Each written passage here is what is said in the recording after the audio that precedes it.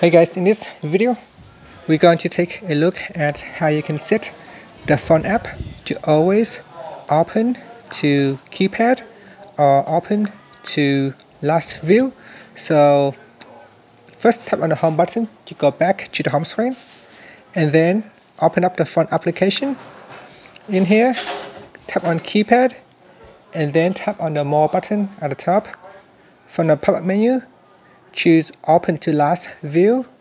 So if you choose open to last view, so whatever last view that you are in, so for example recent, if I go back to my home, uh, home screen and then I open up the phone application, it will always open up to the last view. If I choose open to keypad, then you can see that it doesn't matter which tabs I'm in. When I reopen the phone application, it will always open in keypad. And that's it.